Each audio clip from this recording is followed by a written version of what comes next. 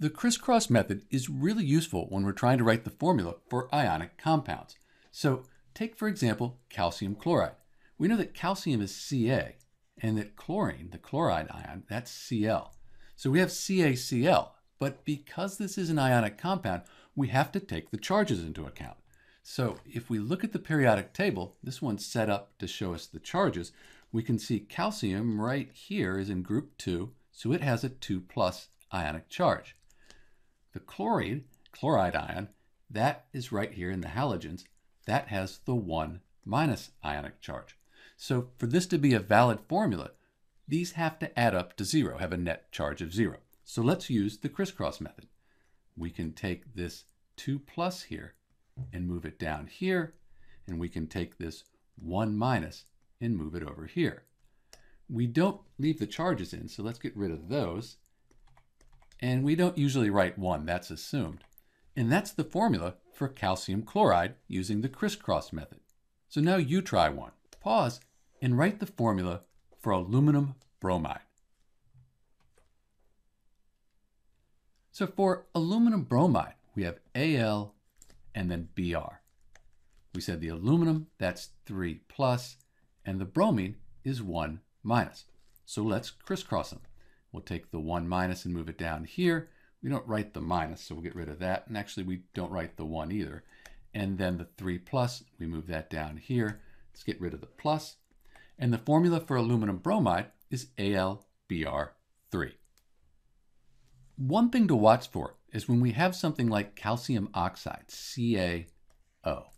Calcium, that's the 2 plus, and the oxide, oxygen right here, is 2 minus.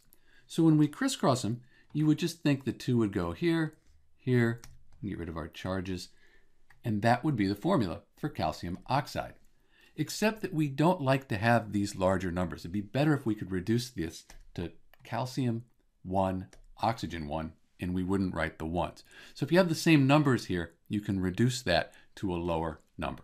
So that's calcium oxide. Pause and give this one a try.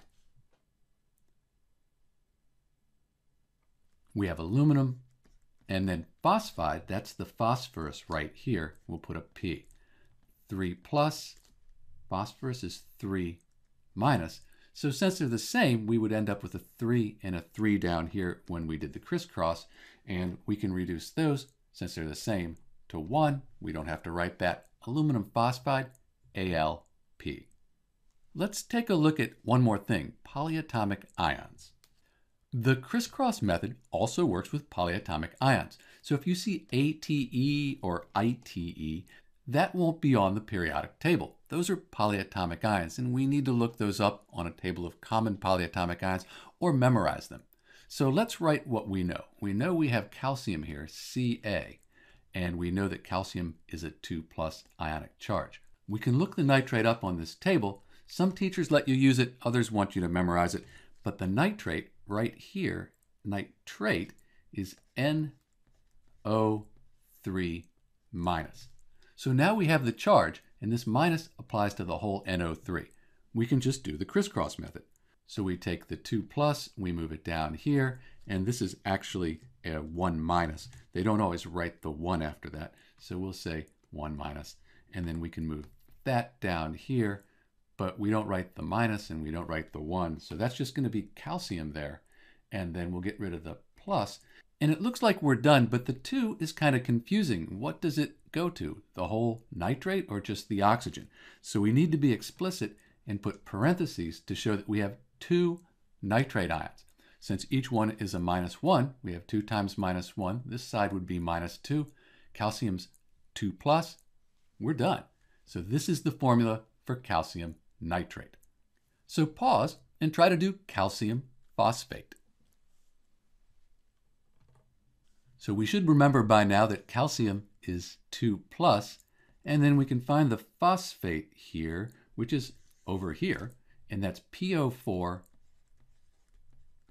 3 minus. So now we just need to crisscross our charges here, the 3 down here. Let's get rid of the charge and put the 2 over here, get rid of the charge. And remember, we need to now put parentheses around it so it makes sense That's the formula for calcium phosphate using the crisscross method. So pause and give these a try. You may need to go back to look at the periodic table or that table of polyatomic ions.